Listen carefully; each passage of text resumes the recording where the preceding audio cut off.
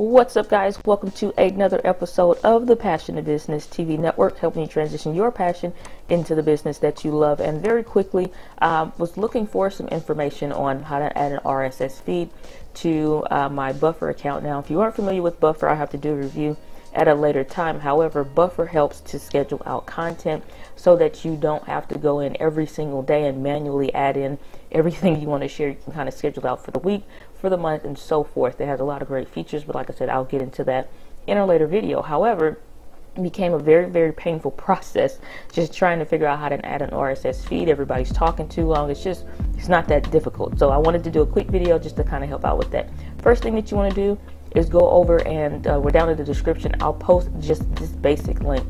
What you want to do is copy this and you want to throw it in a notepad or what have you.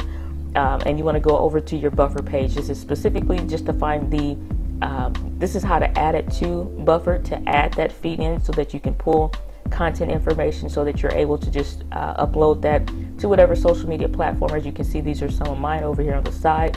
But then also, uh, like I said, it already has the link uh, of where you can find that information as well as the title of whatever that uh, particular video. It'll pull in images and so forth.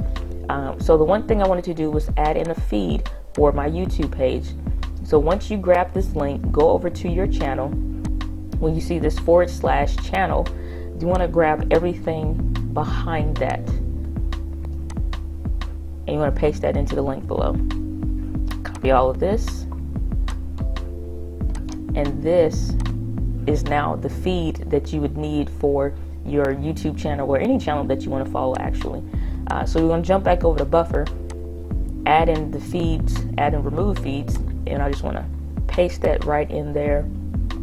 And when it pulls that up, it kind of has that uh, look like a Wi-Fi symbol almost, Passion to Business TV.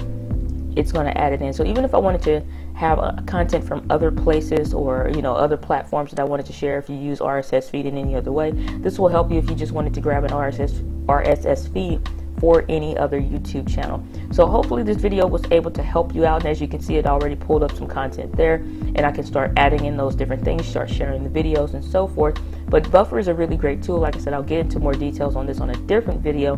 Uh, but a real quick question of the day, how are you guys sharing your information for your small business?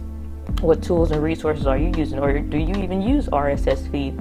So uh, hopefully this video was able to help you out. But as always guys live with passion. I will talk with you guys later. Take care everyone. Bye